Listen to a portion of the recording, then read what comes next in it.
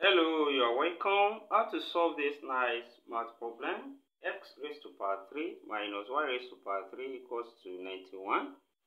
To find the value of x and y, from this identity, we can write that as x minus y multiplied by x squared plus xy then plus y squared which is equals to 91. Then it means that we multiply two numbers and the product gives us 91. So here clearly x minus y will be less than x squared plus xy plus y squared. Then when we separate 91, we can separate 91 as 1 multiplied by 91 or that can be minus 1 times minus 91 as minus times minus is to be plus. Or we can say that is 7 times 13 or we can say that is minus 7 times minus 13 now which one will work from here? From here we have the second bracket here x square will be a positive number. Y square will also be a positive number. So definitely whatever we add to that to those two numbers we make this bracket to be positive. So this bracket here will be positive number. Then for us to have positive on this side it implies that we must multiply also by a positive number. So it implies that the first bracket here too must be a positive number for us to have positive. So it means this will work here. Why this will not, you know, work there. This also will work. Why this will not work. Now, the first case we have x minus y to be equals to 1. Then we have x squared plus xy plus y square to be equals to 91. That's the first, you know, category. Then the second case here, it means we have x minus y will be equals to 7. Then we have x square plus xy plus y square will be equals to 13. Now, when we work with this, from this side now, we can take minus y to this side and make x the subject. So we have x now will equals to 1 plus y. Then the 1 plus y here, let's substitute for x in the second equation here. Then this will now become into bracket 1 plus y all square then plus into bracket 1 plus y, then times y, then plus y square, which is now equals to 91. And when we expand from here, this is same thing as the expansion here will be 1 plus 2y plus y square. Then y open this bracket, we have plus y then plus y square. Then we also have plus y square there which is equals to 91 then when we add the like terms we have y square y square y square. That's 3y square. Then we have 2y plus y that's plus 3y then we have plus 1 and let's take 91 here become minus 91 equals to 0.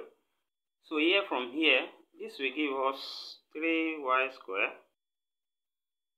plus 3y then minus 99 equals to 0. So from here we can divide through by 3 and this will remain y square plus y minus 30 equals to 0.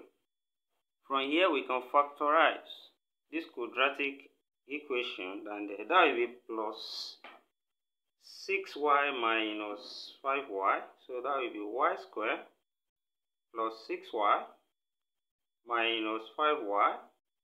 The minus 30 equals to 0. So we group these two to what is common here? We have y into bracket y plus 6. The minus 5 into bracket y plus 6 then equals to 0 then from here we have y plus 6 common. Then into bracket y minus 5 which is equals to 0. So the two cases here will be y plus 6 equals to 0 or we have y minus 5 equals to 0. So here y is equals to minus 6 and here y is equals to 5. So now we can get the corresponding values of x from this relation here. That is, we have x equals to 1 plus y. So from here, when we use that to get the value of x on this side, so we have x to be equals to 1 plus y. So on this side, that will be x will now be equals to 1 plus minus 6, that's minus 6. So x now will be equals to minus 5. So, and on this side we have x now be equals to 1, then plus y, that's plus 5. That means x here will be equals to 6. Now, we have x comma y for this side. Let's label this as x1 comma y1 will now be equals to, for here we have minus 5 comma minus 6 then on this side we make that one to be x2 y2 and this one will now be.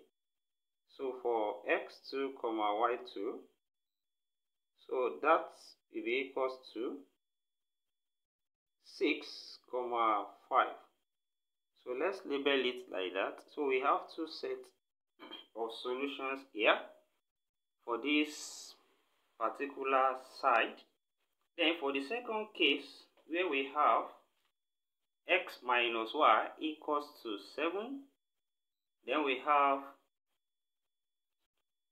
x squared plus xy plus y squared equals to 13. Now from here, also make x the subject then we take minus y here. We have x now equals to 7 plus y. And let's substitute this value of x now in this equation. Then we now have 7 plus y all square now. 10 plus 7 plus y, that's x, times y, then plus y square, then equals to 13. So when we solve this and we expand this bracket, so this will become 7 squared, that's 49. Then plus 2 times 7 times y, that's 14y. Then plus y squared, that's the expansion here. Then we have plus y open here, we have 7y. Then plus y squared. Then also we have plus y squared here. Then equals to 13.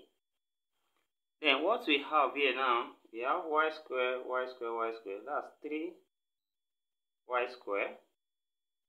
Then we have 14y plus 7y. That's plus 21y. Then we have plus 49 here. Then we bring 13 here become minus 13. Then equals to 0. Then here we have 3y square now plus 21y then 49 minus 13 there. That gives us 6. So we have plus 36. Then equals to 0.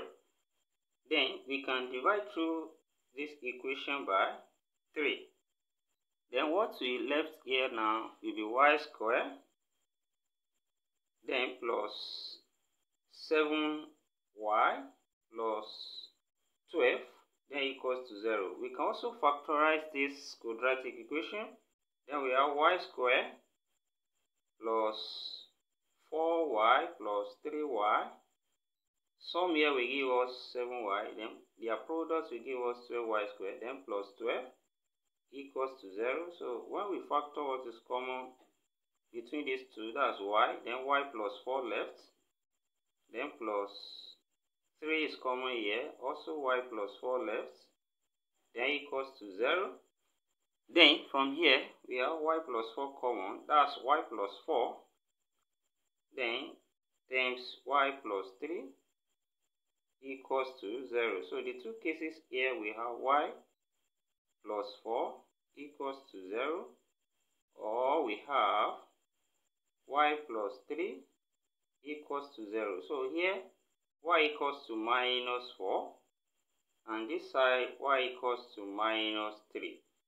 And the same way, we get the corresponding values of x from this relation, which is x equals to 7 plus y. So from here, x is equals to 7 plus y.